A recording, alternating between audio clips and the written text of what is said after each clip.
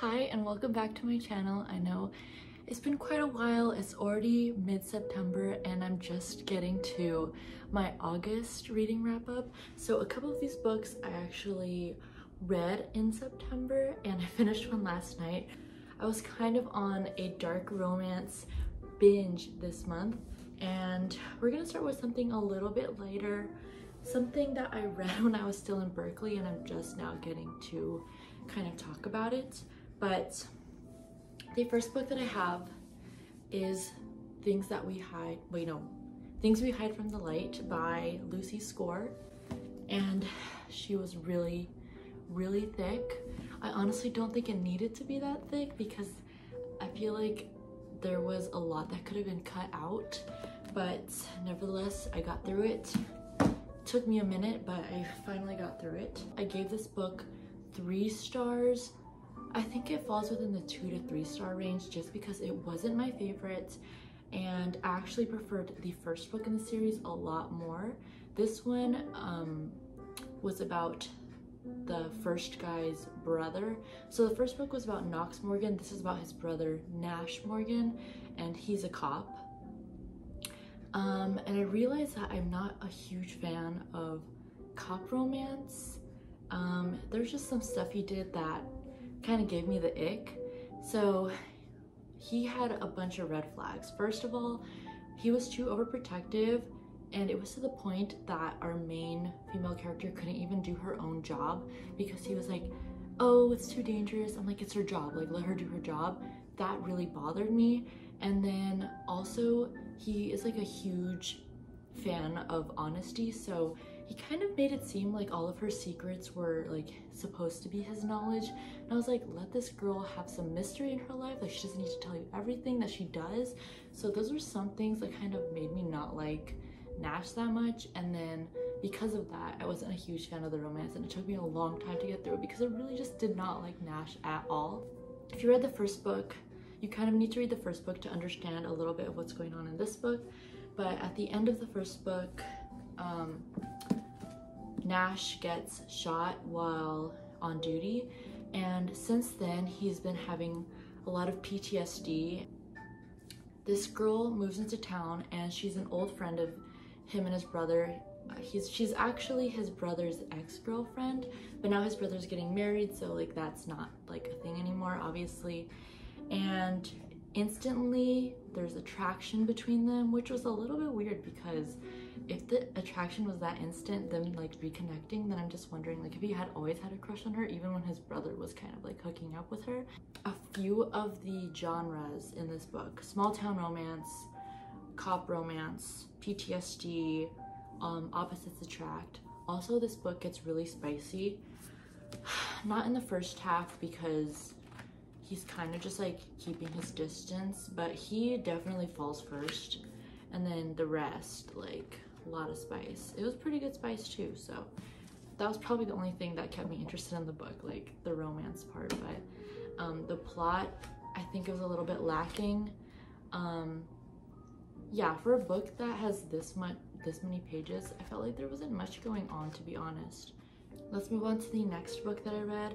This is when I got into my dark romance era, and it started with Stephanie Borer. I was watching her dark romance readathon and I have like a love-hate relationship with dark romance. Like sometimes it's a little too much, but I can still read it.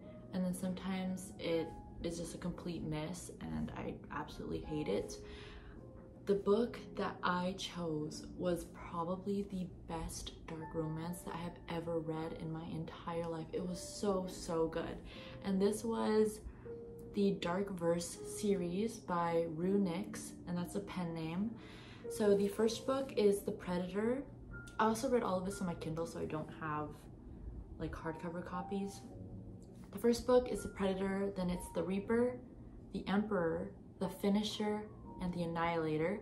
And then the next book is coming out. It's called The Syndicator. I couldn't find a date for when it was going to be released, but I know it's going to be the biggest of all the books and it's going to have the POVs from every single character from those books that I just previously mentioned. So it's going to be pretty hefty and it's kind of like the final pieces to what has been building up throughout the entire series. So these five books follow four couples. So the first two books follow one couple. Um, I thought that the first two books were gonna be my favorite. Like that couple, I was like, wow, there's like nothing better. I love this couple so much. Then I read the third book, which is The Emperor, and I was in love with the characters. Dante is like the golden retriever of the mafia. The first book and the second book are enemies to lovers, kind of Black Widow trope in the beginning. Um, the female MC is a genius and she uses that to help um, the mafia. And she's also a mafia princess. And then book three is childhood friends to lovers. Um, also just like PTSD, some really traumatic stuff happened in this book. Um, book four was past lovers and memory loss. And then book five is obsession and I put dark hero because he's kind of like the anti-hero where he's a bad guy, but he's the kind of bad guy that kills other bad guys, so we like him. And that's basically like all the guys in the book are kind of like that, where they're like, they help innocent people, but they kill bad guys. It was very much like Haunting Adeline, especially book five. That one was very, very similar to Haunting Adeline, except much better. So I definitely recommend the series to anyone who loves dark romance, but doesn't like to have something that's too dark where you can almost like not even finish the book. Like this is just perfect. Also, the spice was amazing, really, really good, top tier. The next book that I read was on my TBR for a long time, and because I'm in this dark, like dark romance era, I really have just been looking for dark romance books that kind of gave me the same feels as the Dark Verse series, but I haven't really been able to find anything like that. But I found this one on my TBR and I picked it up, and this is Promise Promises and Pomegranates by Sav R. Miller. Guys, I love the artwork on this book, but I did not like the artwork on the inside of the book. And when I say artwork, I mean I did not like the plot and writing of this book. Like, uh, I wouldn't really recommend it. It was mostly spice, and that's okay, but I like a little bit of plot with my spice. So, this is Mafia again. This one has a huge age gap. Like, it's a 14 year age gap, and I don't know how I felt about that, especially because the main male character actually had a relationship with her mother and then I was like no like this is just not it for me so I finished the book because I kind of wanted some answers and you don't get any answers. And there's a second book, but I don't think that I'm going to read it. Um, but basically, you don't really get a lot of information on his involvement with the mafia. Like there's not there's nothing saying like what he did for the mafia or how he got involved because he's a doctor. Um, they call him Dr. Death, but I don't know why because like there's no backstory or anything. And then I was left with a lot of questions and they're probably going to be answered in the next book, but I just don't think that I am really that interested in reading the next book. Um, also, he was not abusive to her, but he was abusive to her mother, and I don't really, I didn't really like that. I kind of like, I hate misogyny and like abuse like that, and like domestic violence. Like, I, I can't read that. Like, I hate that so much.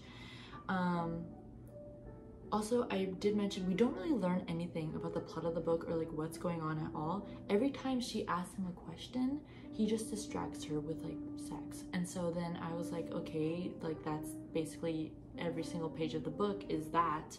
And there's like nothing uncovered or revealed about anything. I was left so confused. I don't know what the plot about this of this book was at all. So, um, even though this is a Hades and Persephone retelling, I I was not a huge fan, even though I love Greek retellings, like they're one of my favorite types of tropes, and this was just not my favorite. Um, if you do want something just like raunchy and just like a guilty pleasure, like you can read this book. But let me tell you, there is no plot whatsoever. So the next series that I read was a highly recommended book I saw everywhere That was the Mindfuck series by S.T. Abby. Um, and I found out that they also go by C.M. Owens, and I did read a book by C.M. Owens a long time ago, and I just found out that she actually died. Um, so I was very shocked by that because I just remember reading books by her a long time ago, and then I just read this book, and I was like, wow, that's the same person. I just was so shocked to hear that she died, um, and apparently it was due to an illness. But I do highly recommend reading this book if you haven't, if you haven't yet. Um, this is the Mindfuck series. It goes, it starts with The Risk, Sidetracked, Scarlet Angel, All the Lies, and then Paint It All Red. And they're all very short books, less than 200 pages, so you finish them like this. And they all end with cliffhangers, except for the fifth book. And the fifth book ended, the way it ended, I was not shocked, but I was like, wow. So it's a serial killer romance with an FBI detective. She is getting revenge on all of the men that have wronged her in the past. And let me tell you, they did deserve it. They deserved it 10 times over. At first, when I heard about this book, I was like, am I really gonna romanticize a serial killer? And then I read the book, I found out like what was going on. I'm like, yes, yes, we are they deserve to die. She deserves her revenge. And she was such a badass. When you read a book, you have to kind of suspend reality a little bit because if you don't, then you're never gonna get to read a book because like there's just so much ridiculous stuff that happens that you just have to be like, okay, fine, yeah, whatever. And sometimes it kind of crosses a line where you're just like, that's a little too unrealistic, especially if it's not a fantasy book. So in this book, she gets really, really good at martial arts. Like she has multiple black belts. She's taking down men way bigger than her. And I'm like, it's just so unrealistic. And then at the same time, her friend who is helping her with, you know, the more tech stuff, he became a really good hacker. Like he just started taking classes and then somehow learned how, like how to hack the FBI that was so unrealistic to me. I'm like, nobody could become that good. But you know what? It was for the story, it was for the plot, and I was like, yep, that that's realistic. That that happened. Okay. So one thing I didn't really like about the book was the way that the two main characters met. I thought it was a little bit too domestic and their relationship throughout the series was a little bit too normal. I mean, besides the fact that she's a serial killer like dating an FBI agent, like they just seemed like a normal couple. And I think it would have been a little bit more enticing if she had been a bit more unhinged and kind of had like a more of an obsession with him. Um, I thought that would have been pretty a pretty cool change. So the last book that I'm going to talk about is Gothikana, which I literally finished last night at two in the morning. And I it was I finished it in five hours. It was a very good book paranormal romance, gothic romance. It's also by Ru Nyx, and it takes place in the same universe as the Dark Verse series. I think that having both this paranormal romance and that mafia romance take place in the same universe kind of ruined it a little bit for me. I just couldn't imagine a world where both things existed, and I kind of wish that they had, you know, like lived in separate realities. Not that the books or the characters meet or merge, but the same city that the mafia romance takes place in is mentioned in this book. So that's why I think that they are like the same universe, but honestly, she could have just reused the same city, but I highly doubt that.